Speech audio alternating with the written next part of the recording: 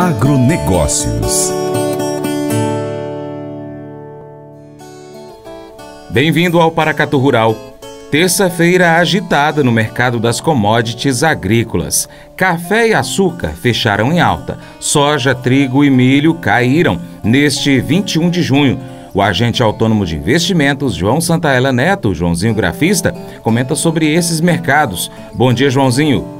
Café, uma excelente alta ontem de dois, é, 495 pontos de alta a 232,35. O mercado reabriu ontem, né, por, pelo feriado prolongado que tivemos nos Estados Unidos. Mas o, no caso do café, as notícias ainda são de uma seca severa. Não tivemos chuvas na semana retrasada, passada, né, no, no café as regiões cafeeiras, e isso levou os fundos de investimento às compras. O café chegou a testar uma resistência forte na casa dos 235, não rompeu, mas eu acredito que a tendência é romper esses 240 Primeiro tem que romper os 235, mas foi uma, ontem tivemos uma excelente alta aí. Outra notícia que vem impactando no mercado do café e isso tem influenciado demais, a gente chama de estoque certificados. O que é o estoque certificado? Ele é o canudo, é o café cereja descascado, posto lá na bolsa de Nova York. E esses estoques caíram novamente ontem para 981.901 sacas. É o menor volume em 22 anos. Se o café sobe, o açúcar também sobe. Ontem o açúcar ficou de lado, mas subiu 0,33% a 18,66 centavos de dólar por libra peso. A Copersucar, maior cooperativa comerciante de açúcar do mundo, acredita que os contratos futuros do, da, do açúcar na bolsa de Nova York serão negociados entre 18 e 20 centavos de dólar por libra peso nos próximos meses, uma vez que as perspectivas globais de oferta e demanda continuarão sustentados. Só rapidinho, falando do petróleo, como sempre converso, falo aqui com vocês. Ontem os contratos subiram devido à alta demanda por combustíveis no verão no hemisfério norte, enquanto a oferta permanece apertada por causa das sanções ao produto russo após a invasão da Ucrânia. O petróleo Brent fechou em alta de 0,5% a 114 dólares 65 barril. Já o petróleo lá nos Estados Unidos, para contrato julho, que terminou na terça-feira, fechando a 110 dólares com ganho de 1%. O contrato mais ativo agora é o contrato de agosto, subiu ontem 1,5 dólar a 109 dólares, né? Bom, vamos lá, o trigo ontem queda forte de 5,7%, é o menor nível em dois meses e meio, pressionados pela colheita antecipada nos Estados Unidos e na Europa, bem como por novos esforços para aumentar a quantidade de grãos embarcada da Ucrânia. O milho acompanhou também, milho caiu 3 3% ontem na Bolsa de Chicago, já que as previsões meteorológicas ficaram mais frias para o final de junho e início de julho, um importante período de desenvolvimento da safra no meio oeste dos Estados Unidos. A queda no milho também pesou sobre a soja, que atingiu a sua mínima desde 1 de junho e registrou seu sexto fechamento negativo em sete pregões. No caso da soja, de acordo com a plataforma Broadcast Agro. Traders entraram no fim de semana achando que essa semana seria quente e seca, mas as previsões começaram a incluir algumas chuvas. O contrato novembro da soja cedeu 27 cents ou 1,76% para 15 dólares e 10,50 por bushel. Na ausência de novas vendas de soja norte-americana para a China em meio a medidas restritivas associadas ao surto de Covid lá no país, também pesou sobre as cotações. E como foi o milho na B3? Queda forte no milho de 3%, cotado R$ 89,03. Contrato julho. Contrato setembro caiu 3,5%, a R$ 91,57. O grão foi pressionado pelo forte ritmo de colheita de milho de inverno no centro-sul do Brasil. Levantamento realizado pela Datagro até a última sexta-feira mostra que os trabalhos alcançaram 13% da área projetada para a região, ante uma média dos últimos cinco anos de 6%. E logicamente que a desvalorização do dólar e a baixa no milho na bolsa de Chicago também pressionaram. No mercado internacional repercutiu a possibilidade da criação de corredores navais para exportação de grãos ucranianos pelo Mar Negro. É, e olhando rapidamente o gráfico do milho, lembra que eu até comentei, né? O próximo suporte seria os 91 reais, então ali é a próxima mínima forte. O mercado tá de olho nesse, nesse suporte. Se permanecer abaixo, vamos retornar novamente para casa dos na última mínima ali nos 89, 88 e aí sim, se perder, bora retornar para a casa dos 86 reais. Ou seja, para hoje a tendência é pelo menos tentar voltar para cima dos 93 para forçar novamente para os 95 reais, tá bom? Abraços a todos e vai commodities. E a gente confere as cotações depois do intervalo. O programa Paracatu Rural hoje é o, é o programa mais procurado pelos empresários do agronegócio para poder colocar propaganda, viu?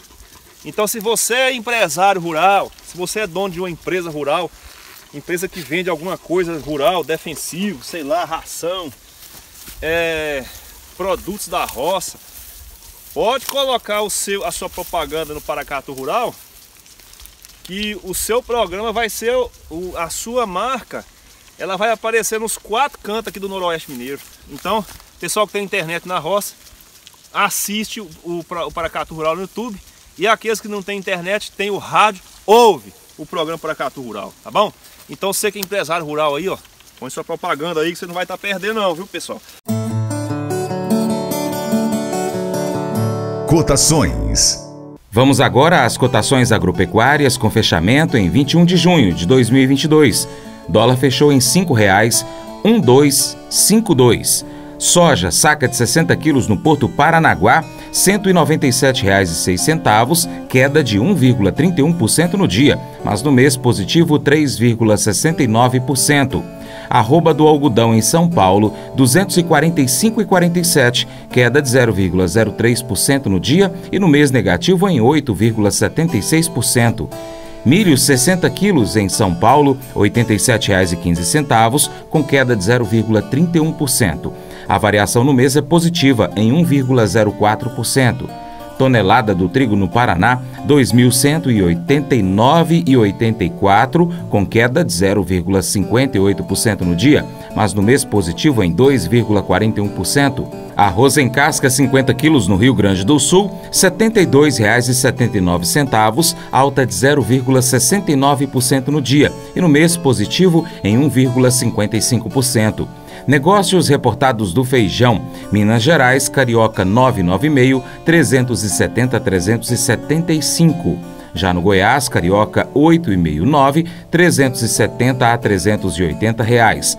Em São Paulo, também o feijão carioca 8,69, 340 a 350 reais. No Paraná, o feijão carioca nota 6, 7, de 210 a 220 reais a saca de 60 quilos. E o feijão preto T3, T2, de 190 a 200 reais.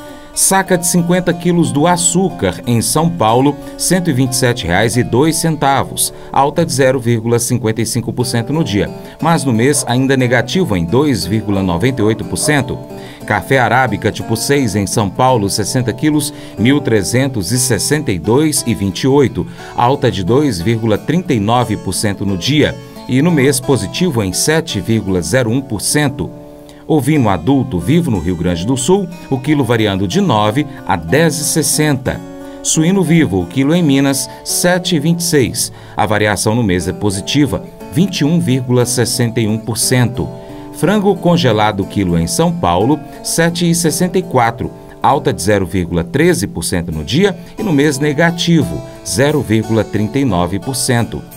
Ovos Granja Vermelho Extra 30 dúzias no Ceasa Belo Horizonte, Minas Gerais, 170 reais. Nelore, 8 a 12 meses, Mato Grosso do Sul, 2.674,33, alta de 0,36% no dia, no mês positivo em 4,21%. Arroba do Boi Gordo em São Paulo, R$ 321,40, queda de 0,68% no dia. Arroba da Vaca Gorda em Urucuia, Minas, R$ 256. Reais e o valor de referência do leite padrão entregue em junho, a ser pago em julho, com Seleite Minas, R$ 2,18,46.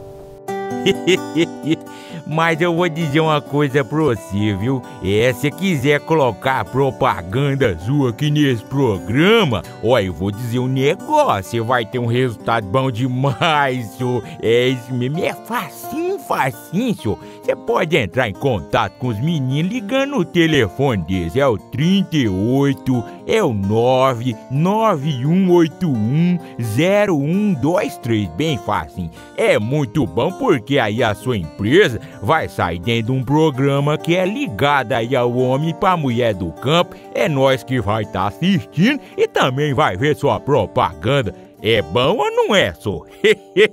pois é, chegou a hora da gente ir embora, mas antes tem aquele abraço para o nosso ouvinte, telespectador e internauta o Josemar Silva Velame, também a Eli Kelly, Osiel Bueno, Robério Santana dos Santos, Lucimário Lima de Bezerros, Pernambuco, Valdir Amaral Cortes de Ribeirão das Neves, Minas Gerais, Luiz Noronha, também tem Ivan Correia, Catiusca Barbosa, Igor Domingos, Expedito Rezende, João Victor Pinton, Kelly Martins, a turma do agronegócio da Unimontes, abraço para todo mundo aí. Também tem o Fernando Filho, Jéssica Carvalho, Daniele Rodrigues, Vitória Moreira, Cimeia Neude, a Lara Aragão, Wagner Alves, Felipe Carneiro, Fabiano Lopes da Silva, Mirelle Antônio Correia. E ainda, Marco Yuri Lima, Daniel Pereira Souza, Evelyn Beatriz, Thaís Lima, o João Jerônimo e os nossos amigos da Exclusiva Bio. Lembre-se de curtir, com, comentar e compartilhar o nosso conteúdo aí nas suas redes sociais. Vai lá no nosso YouTube, nos nossos vídeos, comenta lá dizendo o seu nome, de onde você está falando, para a gente poder mandar um abraço para você, tá bom assim? Seu Paracato Rural fica por aqui. Muito obrigado pela sua atenção. Para minha esposa Paula, um, um beijo, te amo, Paula. Você planta e cuida, Deus dará o crescimento. Creia nisso, descansa nele, o mais ele fará. Até o próximo encontro. Deus te abençoe. Tchau, tchau.